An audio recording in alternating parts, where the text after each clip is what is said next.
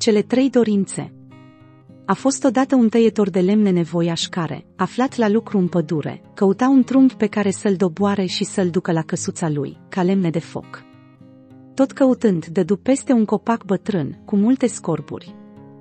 Dar tocmai când își lua având ca să repeadă toporul în lemnul găunos, se pomeni cu un spiriduș țâșnind dintr-o scorbură. Oprește-te! Oprește-te, îi strigă spiridușul cruță copacul acesta, care e de fapt căsuța mea, și îți voi îndeplini trei dorințe. Tăietorul de lemne se învoi, iar spiridușul se făcu nevăzut. Mai apoi, după ce tăie un alt copac și-și luă în cârcă lemnele de trebuință, omul se duse acasă. Îi povesti nevestei sale ce îi se întâmplase și cum căzuse la învoială cu spiridușul. Fiind flămând după o zi de lucru în pădure, bărbatul întrebă.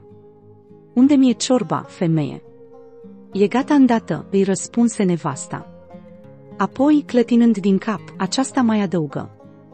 Ei, ce mi-aș dori și niște cârnați, lângă ciorba asta lungă. Și ca din senin, pe masă se ivi un șir de cârnați bine mirositori. Că mare prostie ai mai spus, femeie. Se răsti tăietorul de lemne la nevasta lui. Uită-te și tu cum ai irosit prima dorință. Lipții se ar cârnații de nas, ceea ce cârnații și făcură, zburând pe dată spre fața femeii. Odată prinși de nas, geaba încercă ea să și smulgă de acolo. Cârnații nu se desprindeau și pace. Iar bărbatul se tăvălea pe jos de râs.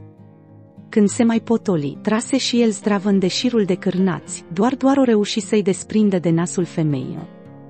Dar nici pomeneală să-i zbutească. Păi, s-ar zice că n-ar mai fi de făcut decât un singur lucru, spuse resemnat tăietorul de lemne. Vreau să scap de cârnația de pe nas. Rosti el și cea de-a treia dorință. Cârnații se desprinseră de pe nasul femeii și se așezară ascultătorii în farfurie. Iar în seara cu pricina și ea, și bărbatul ei avură parte de o masă pe cinste.